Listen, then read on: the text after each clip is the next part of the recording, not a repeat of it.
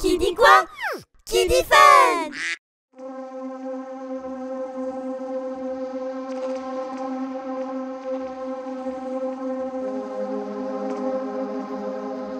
Salut à tous, je vous propose de fabriquer vous-même des papillons volants.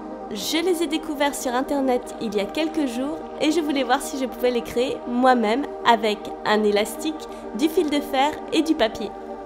Il suffit de faire tourner les ailes. Il faut les faire tourner environ une quarantaine de fois jusqu'à ce que l'élastique soit bien tendu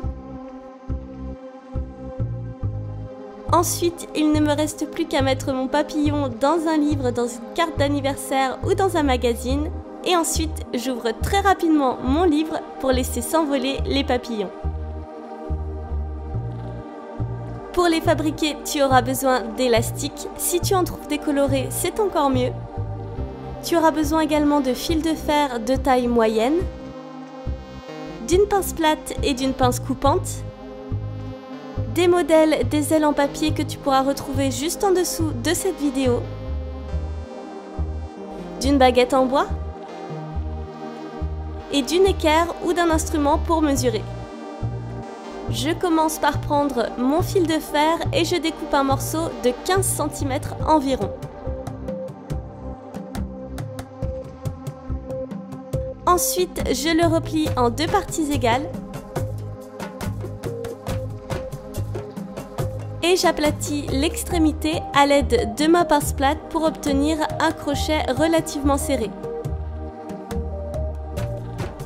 Ensuite, tout simplement, je croise les deux branches pour obtenir un anneau. Je prends un élastique que je mets à cheval sur mon anneau et je tire les deux extrémités pour le faire rentrer dans mon anneau. Voici la première partie de mon papillon. Pour la deuxième, je prends un morceau de fil de 30 cm environ. Je le plie à nouveau en deux parties égales.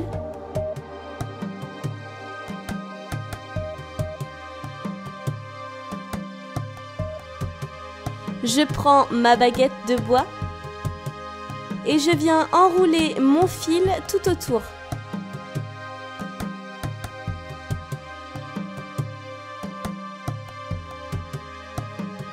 Ainsi, j'obtiens comme un anneau double. Je l'aplatis bien à l'aide de ma pince plate. Je place ma pince sur l'anneau, je la laisse dépasser un petit peu sur le côté et je viens rabattre mes deux branches de chaque côté. Mon anneau doit être bien perpendiculaire par rapport aux deux branches. Je le redresse donc avec ma pince si besoin. Ensuite, je mesure 5 cm sur mes deux branches et je les replie à l'aide de ma pince plate. Ainsi, je viens fermer le corps de mon papillon. À l'aide de ma pince, je pince fort mes deux branches ensemble et j'en utilise une pour venir fermer mon armature à l'aide d'un tortillon.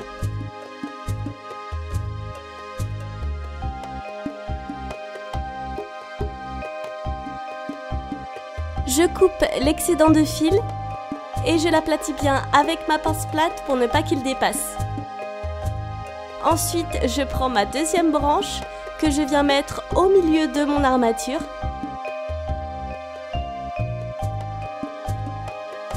et à l'aide de ma pince plate et de mes mains, je forme un crochet.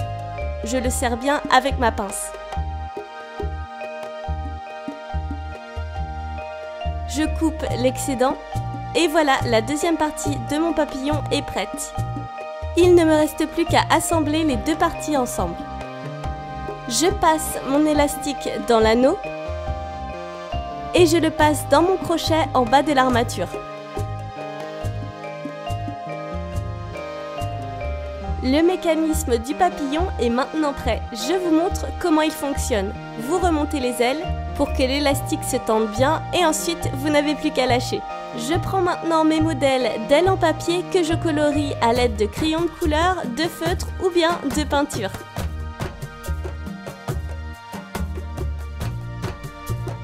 Vous pouvez choisir toutes les couleurs que vous préférez, j'ai essayé de rester dans des couleurs plutôt printanières.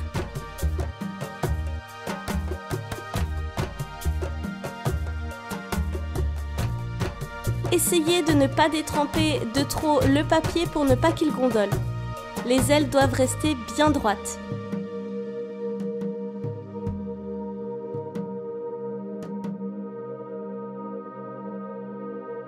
Voilà, mes ailes sont prêtes. Je peux maintenant prendre mes ciseaux et les découper.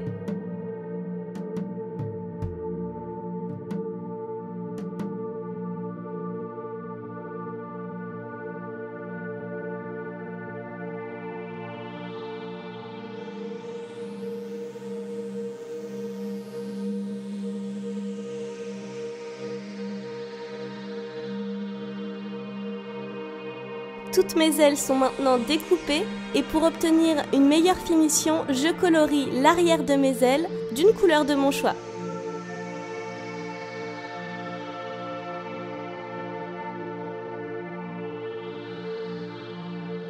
Je prends du scotch transparent et je viens le coller sur mes ailes et sur mon armature en fer. Conseil, ne faites pas toucher les ailes en papier avec l'armature en fer, laissez un tout petit espace. De cette manière, le papillon volera beaucoup mieux.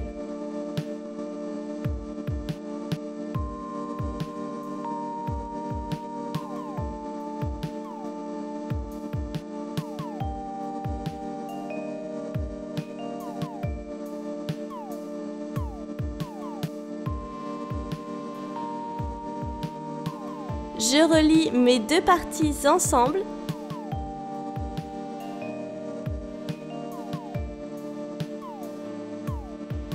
Et voilà, mes papillons sont prêts.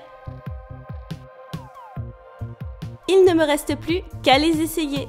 Je trouve cette idée super sympa pour un anniversaire, un mariage ou bien un baptême. J'espère que cette vidéo vous a plu, n'hésitez pas à me laisser un commentaire, à liker et à vous abonner à la chaîne. Posez-moi toutes vos questions en commentaire, j'y répondrai dans une future vidéo FAQ. Et dites-moi si vous aimeriez savoir où j'achète toutes mes fournitures, je vous mettrai les liens en dessous de la vidéo. A bientôt